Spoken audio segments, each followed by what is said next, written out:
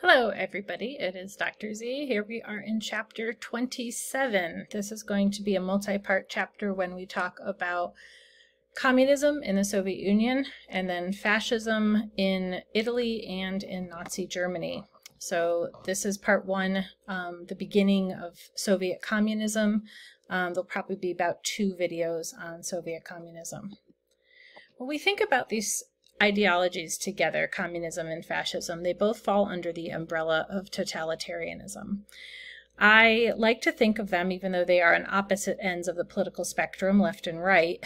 Um, I like to think of them, though, however, as close cousins because they both are totalitarian.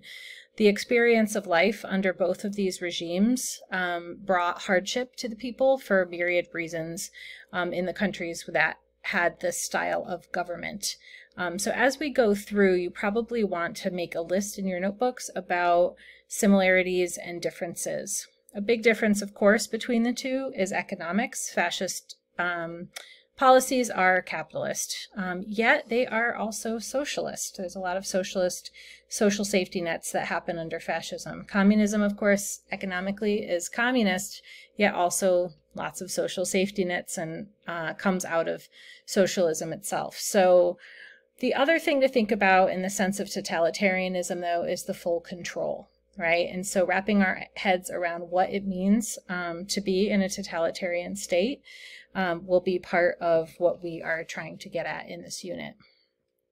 As I said, though, we're going to start with communism. Con the Khan Academy gives us some really nice context here. They write, the Soviet Union was born during a period of deep crisis. Lenin, the Bolshevik leadership, um, had to guide Russia out of World War I, deal with the famine in the early 20s, nationalize an economy that lagged behind Western rivals, and to get out of the war, which was their number one goal, right, they had adopted hardline communism.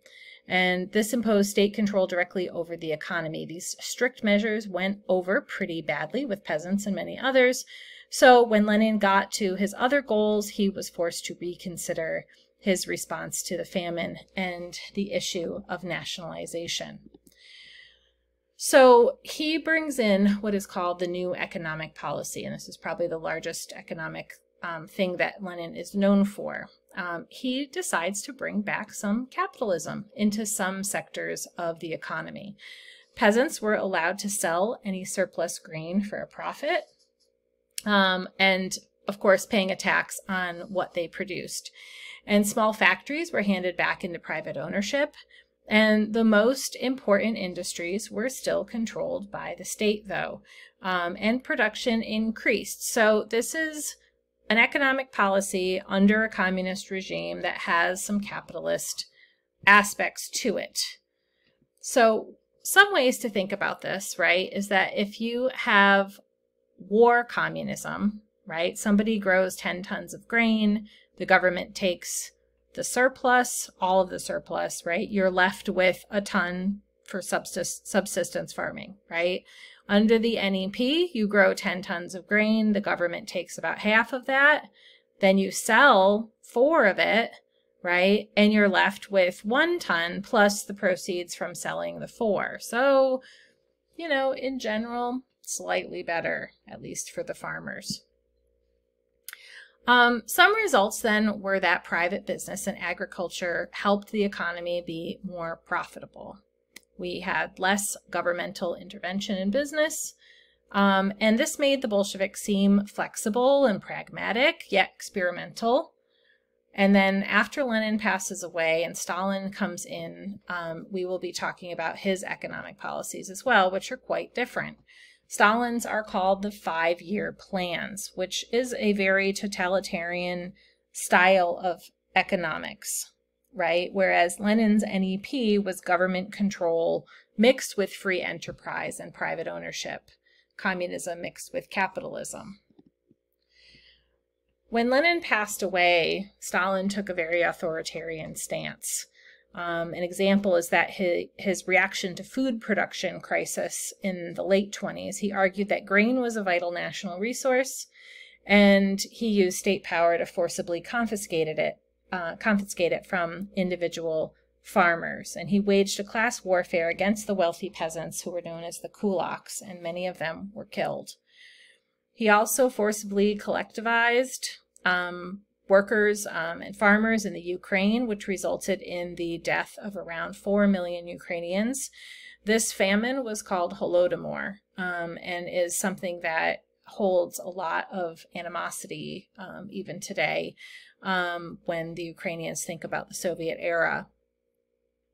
Stalin also pursued what was called a command economy. He wanted a quote, revolution from above in which power emanated throughout society from a centralized state. And that state was to be administered by the Communist Party and his leader.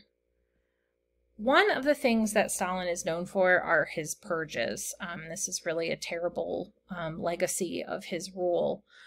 Agriculture and industry, of course, are organized through the five year plans. And as the 30s wore on, Soviet leadership pushed for more extreme forms of centralization, right, in this command economy. Um, and he tried to ensure people's loyalty by purging or eliminating those who were unloyal to the party or himself. And he used fear, terror, and suppression as tactics for this. The Great Purges were during the two year period in the late 30s, um, and this was a campaign of political repression. It's called the Great Purge or the Great Terror. Um, it's also tends to be, as you can imagine from the title there, compared to the terror in the French Revolution as well. So the victims, of course, were Communist Party and government officials who were deemed not loyal to Stalin and Stalinism. Also peasants, particularly the kulaks. Um, and Red Army leadership, right, who was not seen as loyal to um, the new government. He used tactics of police surveillance, neighbors being suspicious and denouncing other neighbors. There were arbitrary executions, um, show trials, and imprisonment.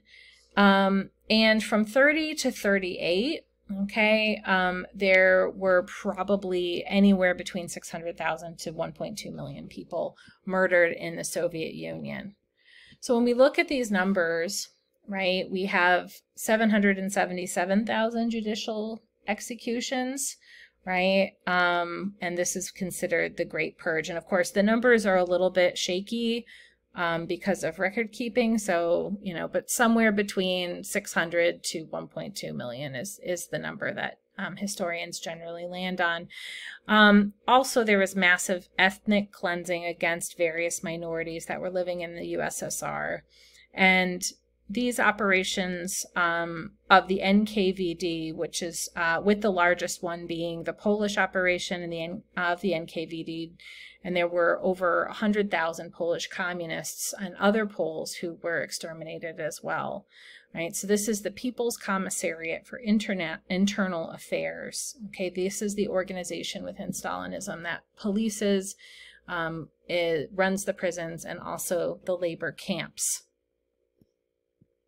All right, we are going to pause here and I will see you in the second half.